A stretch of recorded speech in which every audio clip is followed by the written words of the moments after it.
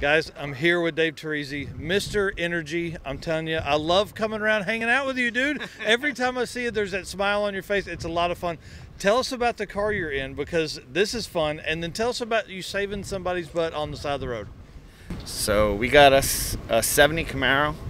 Uh, we plucked the motor out of my 68 Nova. Yeah. Thrashed. We threw it together like in three, four weeks.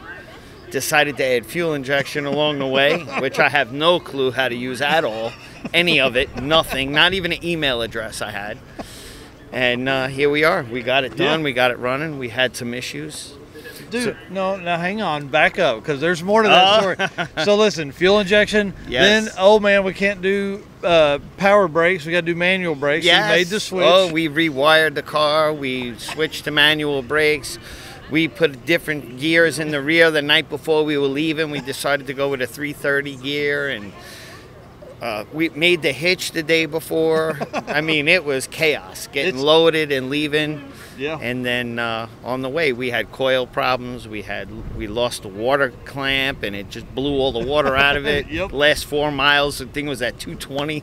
Oh my gosh. We just Hang- kept the- going. hang on. The question I have though is the gauge only go to 220? And I don't know, man. I was just sitting there going, ah, we're going to keep going because we're right by Waltz. He's going to have something to help us. well, and hey, you got to keep airflow across it. You it. know, I was motoring, man. We were going. That's And what I tell everybody. So we got in there and uh, we got it fixed up, and yeah. you know we kept going, and then all of a sudden the coil started showing its ugly face.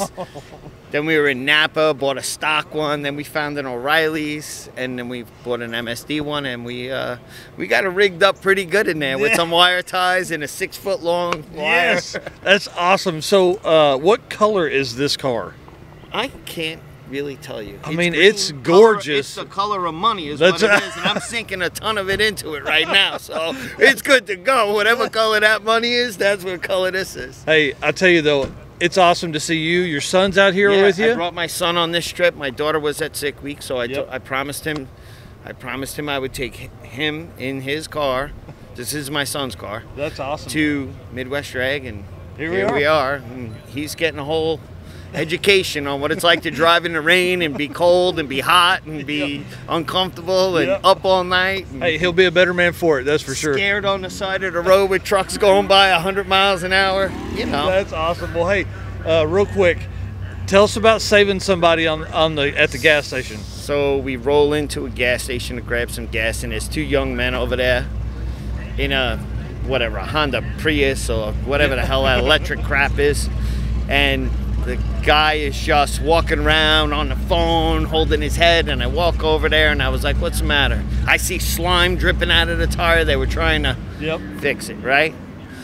So I said, listen, just bring the tire over. We got a plug kit, and uh, we unloaded the trailer, dug out the compressor, the plug, plugged it, got him on his way. And the guy hung out with us for like 45 minutes talking with us. That's cool. You know, so that was nice, guys. You know, I felt bad. I, know, I don't like to see anybody jammed up on the road, so we try to help as much as we can if we uh, see anybody. I pretty much worked on a few cars. Dude, around you've here. worked on half the cars here. You've had your hands on everything. I try, like I said. I don't want to leave nobody jammed up. You know, how would you feel if you were No. jammed up? Listen, your wife was jammed up. or- If Dave Terrizzi pulls in, I know we're going on we're down the road. done. That's That's right. That's right. Thank it you done, very right? much. Thanks, good, man. very Hey, good. I appreciate it. hey, always my pleasure.